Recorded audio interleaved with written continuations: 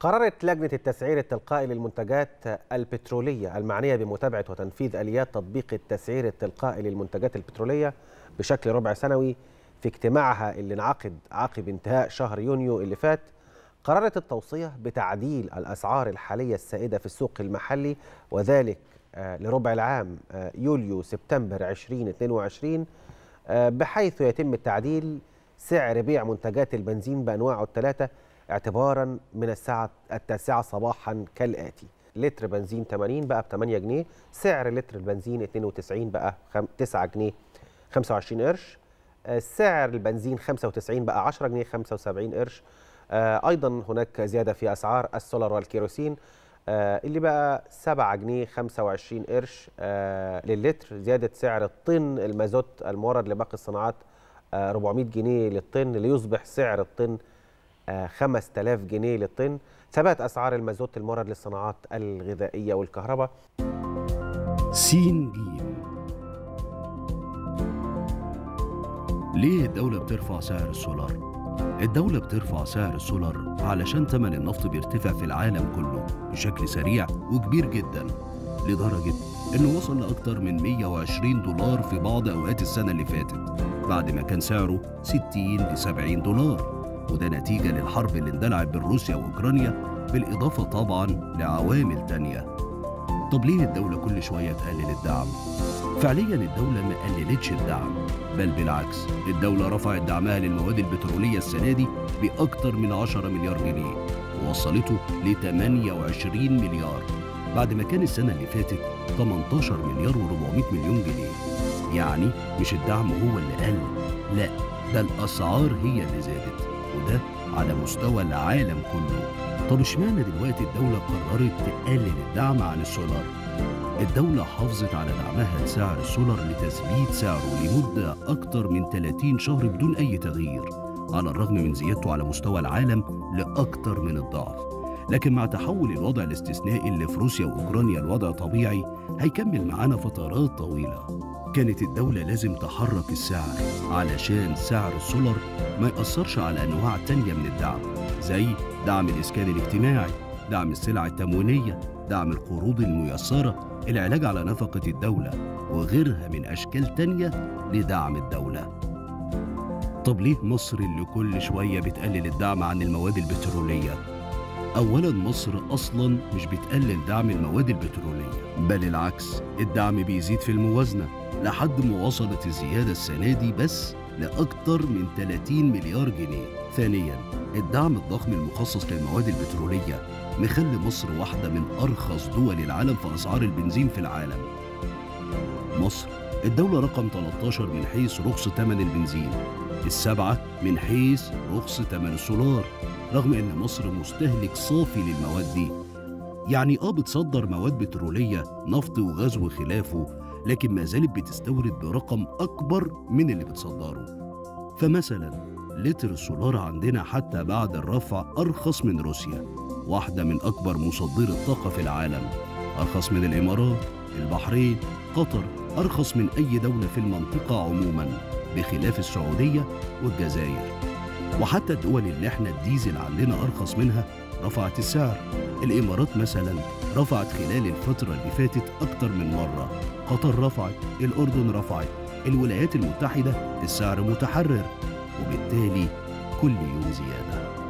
هي الأزمة دي مكملة معانا كتير. حتى لو كملت آثار الأزمة بتخف وأسعار المواد العالمية في اتجاهها للانخفاض والأسوأ فعلا عدى واللي جاي أحسن إن شاء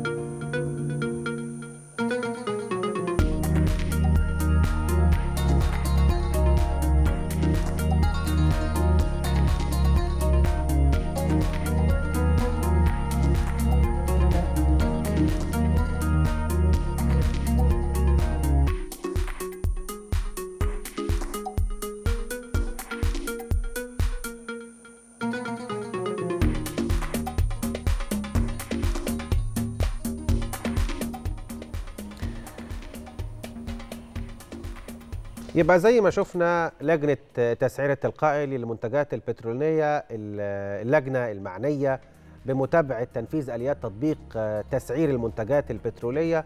قررت في اجتماعها اللي انعقد اللي اجتماعها اللي انعقد عقب انتهاء شهر يونيو اللي فات قررت التوصية بتعديل الأسعار الحالية السائدة في السوق المحلي يوليو سبتمبر 2022 بحيث تم تعديل سعر بيع منتجات البنزين بأنواعه الثلاثة اعتبارا من الساعة التاسعة صباحا كالآتي.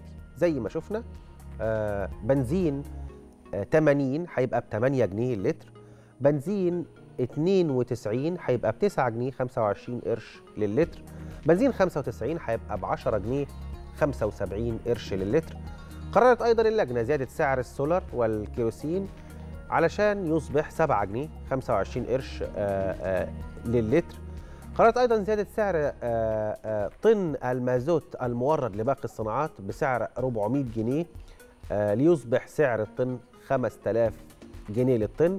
قررت أيضا ثبات أسعار المازوت المورد للصناعات الغذائية والكهربائية زي ما شفنا أيضا في التقرير اللي فات. بطبيعة الحال كلنا عارفين إن إن في أزمة عالميه عالميه حصلت ما بين روسيا وأوكرانيا. عارفين إن سعر برميل البترول عالميا كان بيتوسط من 70 ل 80 دولار وده كان المتوسط السائد. وميزانية مصر اعتمدت لهذا الأمر على هذا الأساس. ميزانية مصر لما اعتمدت كان الدعم شايفين قدامنا يا مصطفى الأسعار آه. عالميا يعني بنزين 95 سعره كام في مختلف الأماكن. إحنا شايفين فعلا الأسعار. بالظبط. كان الدعم المقدم من الدولة حوالي 10 مليار. آه النهارده الدعم 30 مليار. يعني الموضوع تضاعف ثلاث مرات على ميزانية الدولة. طب بالنسبة للزيادة الزيادة ربع جنيه و يعني ربما هي جنيه بس في بنزين 95 باعتبار إن هو الأغلى ثمنا والأكثر يعني استهلاكا للسيارات الكبيرة يعني. فإحنا عندنا يعني موازنة كبيرة يعني. إحنا بنتكلم في فعلا إن الموازنة بتاعتنا حتى لو أنت ضاعفتها ثلاث أضعاف يعني زودت الدعم من 10 مليار ل 30 مليار ف ده كان عبء على الدولة. الربع جنيه ده هو بس اللي فرق بالنسبة للمواطن. وأعتقد إن أنت لو قارنت ده بدول أخرى الموضوع مختلف. مصر يمكن الدولة رقم 13 في رخص سعر البنزين وبالإضافة أن الفترة اللي فاتت لمدة ثلاثة أشهر بعد حدوث العديد من الأزمات الدولة المصرية حاولت قد ما تقدر أنها تثبت السعر وأنها تزود مزيد من الدعم لكن في مراحل معينة بيتوقف فيها زيادة الدعم في هذه المرحلة علشان يقدر ما يأثرش على الدعم المقدم لباقي الخدمات زي الصحة والإسكان الاجتماعي.